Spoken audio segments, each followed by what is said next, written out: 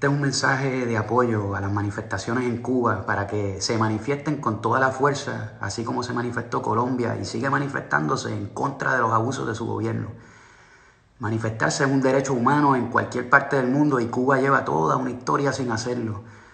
Esta manifestación nace desde un pueblo cansado, no es un estallido mercenario ni tampoco algo orquestado desde los Estados Unidos. Sabemos que los que quieren una Cuba gringa se aprovechan de estas necesidades y forman su propaganda en las redes sociales y medios alternativos, pero no fueron los acomodados de Miramar ni del Vedado quienes salieron únicamente a la calle. Fue la gente del pueblo la que despertó. La gente venía desde La Habana Vieja, de Centro Habana, del Cerro. Me cuenta un amigo que estuvo en una manifestación pacífica y que fue la policía y grupos paraestatales los que empezaron las agresiones.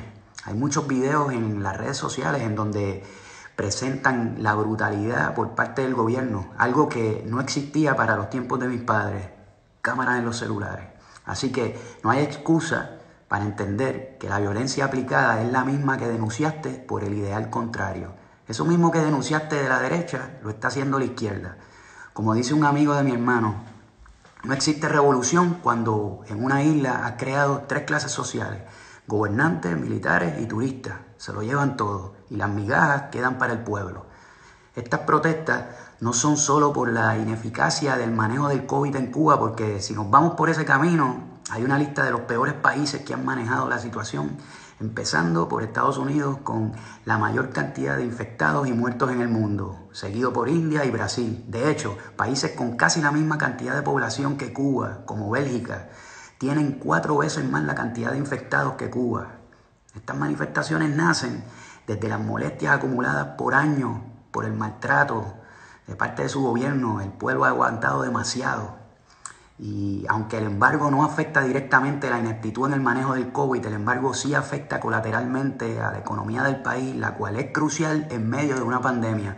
Pero también este embargo ha sido la excusa del gobierno cubano por años ante cualquier error cometido por ellos. Como dice un meme por ahí, para los que dicen que lo del embargo es una excusa, la solución es fácil. Quiten el embargo y así el gobierno cubano no lo puede usar como excusa.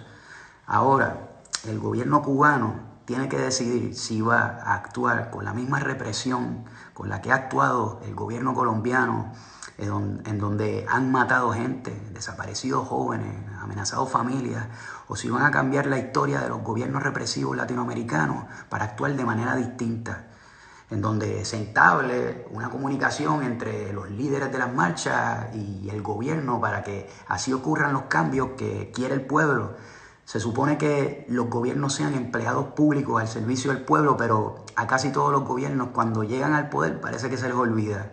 Al final todos los gobiernos critican a sus contrarios y lo mismo pasa con la gente y sus ideales, lo que nos lleva a la paradoja de algunos puertorriqueños de luchar por la libertad de los países reprimidos menos por el nuestro. Esa contradicción de Puerto Rico en donde el gobierno llama al pueblo cubano a manifestarse mientras que en su propio país nos reprimen con la fuerza de choque cuando nos manifestamos. En fin, ahora, una de mis preocupaciones es esta. Sé que Estados Unidos está tratando de meterse con otras intenciones y no con la de únicamente ayudar a estabilizar el país. Se los digo por experiencia propia. Se metieron ni que para ayudarnos contra España y nunca se fueron. Llevamos 123 años colonizados con un presidente impuesto por ellos mismos sin nosotros tener derecho a votar por él. Puerto Rico es un país capitalista, en quiebra, con una deuda que los nietos de mis nietos seguirán pagando. Ahora no somos dueños ni de nuestra luz eléctrica, la compañía es gringa, sufrimos de apagones a cada rato y el costo de la electricidad está por las nubes. Y todo esto ocurre desde la invasión de Estados Unidos a Puerto Rico en 1898. Con esto les digo que apoyo a la, manifestación y todas las manifestaciones en Cuba y exhorto al gobierno cubano a escuchar al pueblo como nunca antes y les pido a las organizaciones pro derechos humanos que cuide de la seguridad de los manifestantes y la seguridad cubana ante los países que se quieren aprovechar de la situación para invadir. Cuba y Puerto Rico eternamente son de un pájaro las dos alas. Eternamente son de un pájaro las dos alas.